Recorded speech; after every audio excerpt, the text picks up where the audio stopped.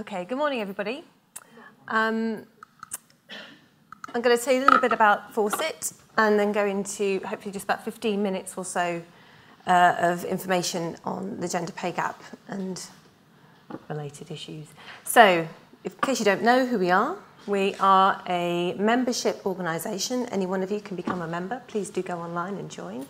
Um, and we're the national charity campaigning for gender equality and women's rights named after Millicent Fawcett, who is now obviously immortalised in Parliament Square with a wonderful statue. Again, if you haven't been to see her, please do go. Um, courage calls to courage everywhere is the slogan.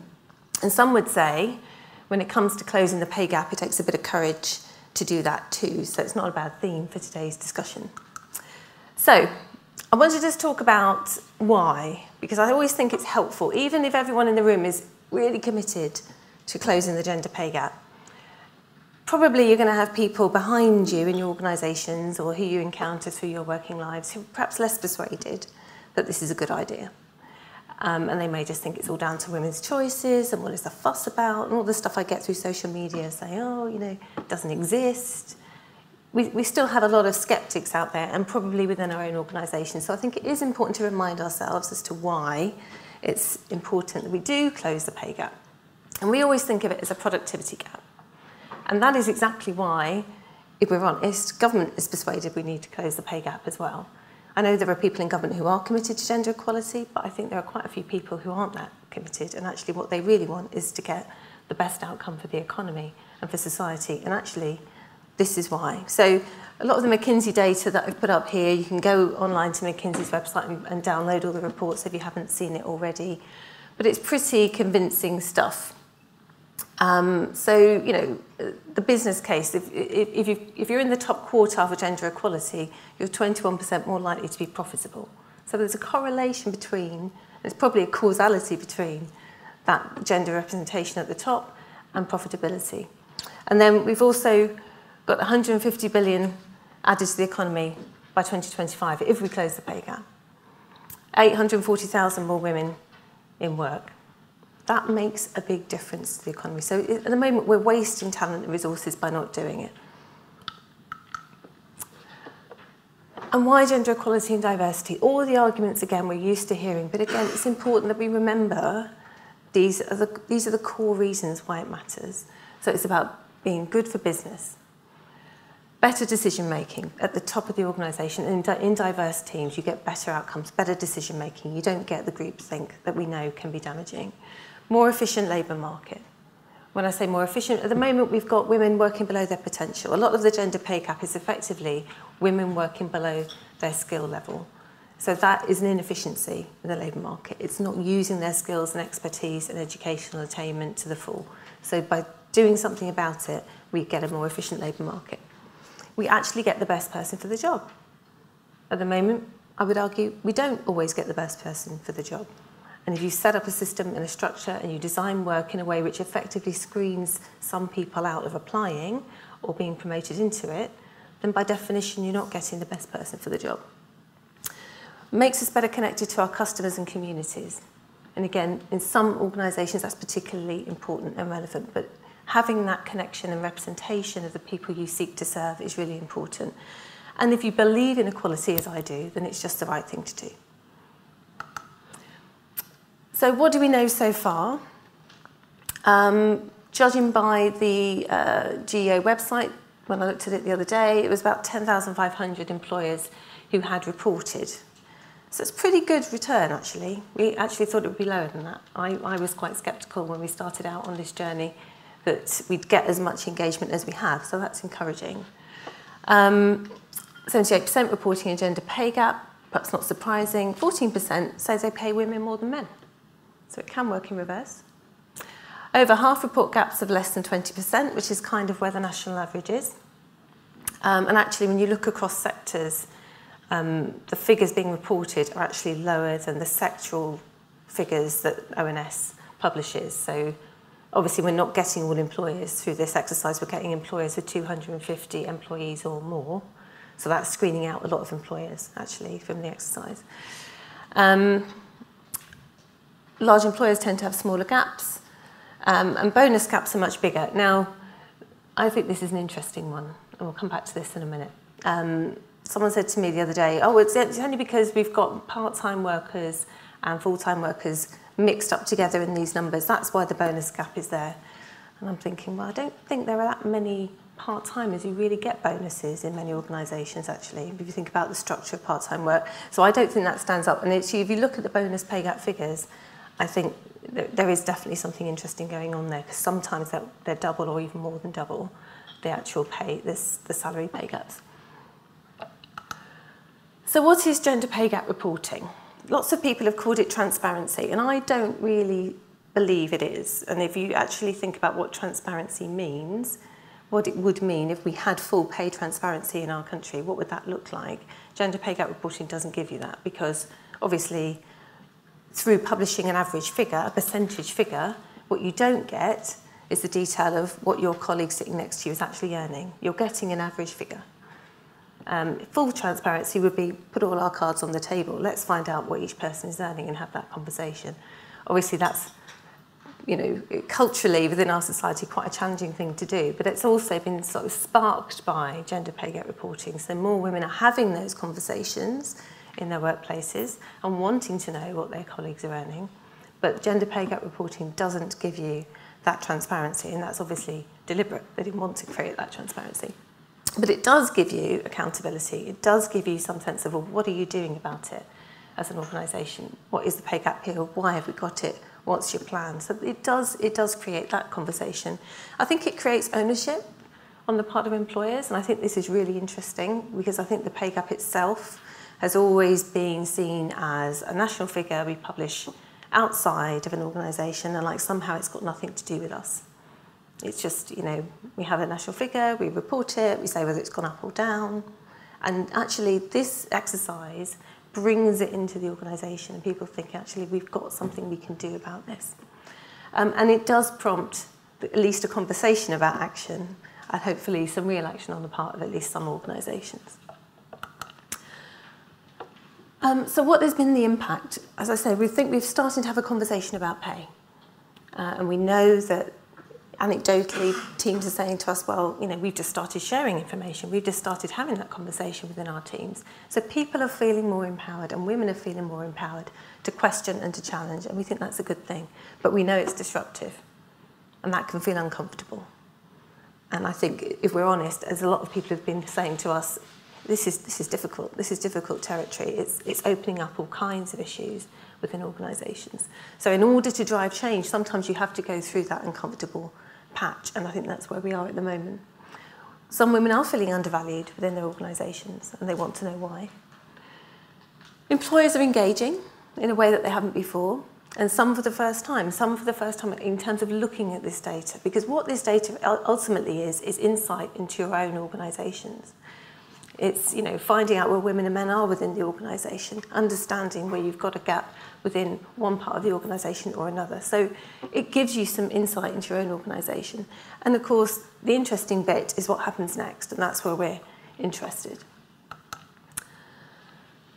So we've been saying it's very important to set out a proactive plan. You're not required to publish a narrative and a plan alongside the numbers but it's very wise if you do because that at least gives you a proactive story to tell. And I know Nick's going to say a little bit more about the comms around this in a minute.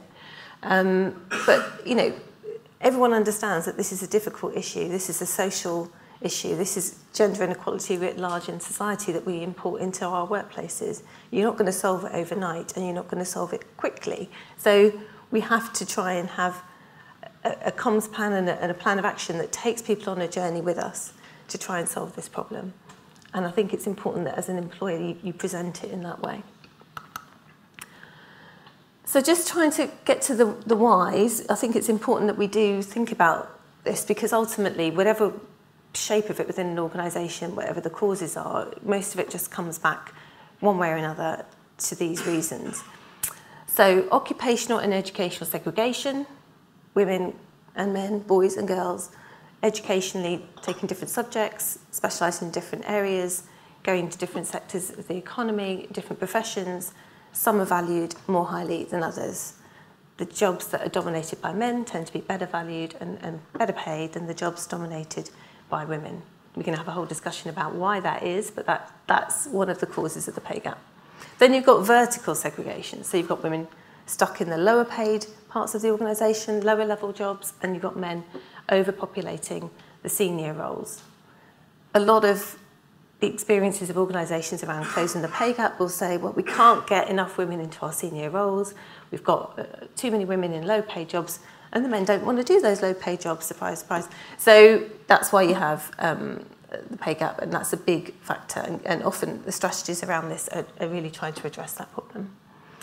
And then you've got the unequal impact of caring roles, which is, you know, life outside of work and how you combine that with work. And how do employers support and enable all their staff, women and men, to do that, to do that juggling act? And are we presuming that some people are going to be doing that and others are not?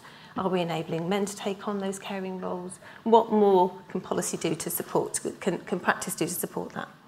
Poor quality part-time work. I always single this one out because I think it's a really important issue. We don't create senior part-time roles in this country very, very routinely or very well. It's very hard to progress in a, in a clear sort of linear way if you want to work part-time. Now, some people say, oh, you just can't do these senior jobs part-time. And I just beg to differ. I don't agree. I think it's the way we design work and we have to challenge that. And then, of course, we've got discrimination. So not only pay discrimination, which does still exist, there are pay cases going on at the moment, as I'm sure you know, but also other forms of discrimination which effectively work against women's progress. So sexual harassment, um, the kind of sex discrimination that women experience within the workplace. And actually that can stop them either getting into a job or progressing in a role. And what that means is effectively that's having an impact on that pay gap. So what can you do? Well, within organisations, there are a number of solutions, and you wouldn't necessarily need to do all of these at the same time. You might have a plan that says in year one, we're going to focus on solution A, in year, year two, we're going to progress to solution B. So you can work it through the organisation and think about what are your priorities. But you need to think about every aspect of your sort of people management and progression within the organisation. So what's your recruitment practices and policies?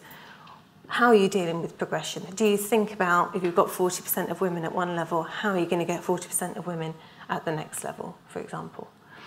Um, active sponsorship, encouraging women to be um, really not pushed as such, but more than more active than mentoring, we put it like that. It, a bit a bit more kind of encouragement and engagement with those individual women to really help them move up. How, what are your policies and practices? How are you designing jobs? What's your policy on flexible working?